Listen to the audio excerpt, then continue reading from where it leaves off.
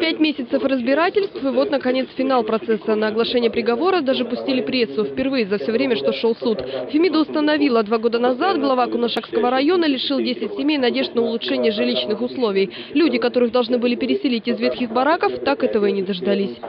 Избал- издал постановление номер 820 о переводе жилых помещений в специализированный жилищный фонд, перевел квартиры 1, 6, 7, 8, 10, 11, 12, расположенные в доме 69 по улице Пионерской в селе Кунашак в специализированный жилищный фонд категории служебных для выделения отдельным категориям граждан. Отдельной категории граждан – это друзья, знакомые и родственники Янбаева. Квартиры, в числе прочих, получил также его зам, глава местного СИЗО и медсестра одной из больниц.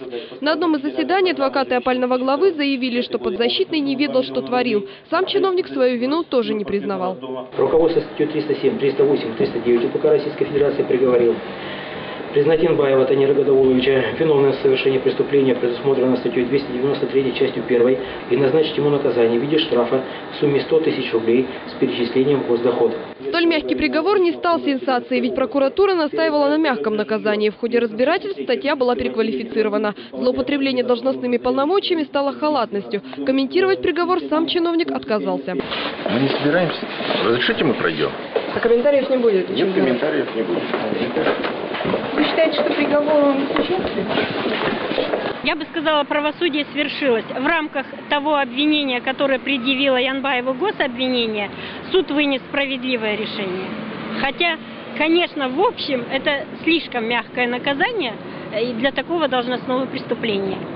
Янбаев возвращается в кресло главы, но представитель прокуратуры сегодня заявил, что это еще не финал истории. А, Возможно, иное продолжение ситуации. Какое, я пока вам говорить не буду. Не буду, всему свое время, это с одной стороны. А с другой стороны, э, формальных препятствий для осуществления служебной деятельности на должности главы района на данный момент не имеется.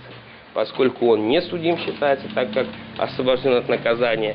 Какое именно будет продолжение, так и осталось тайной. А вот с несостоявшимися переселенцами из ветхих бараков история прояснилась.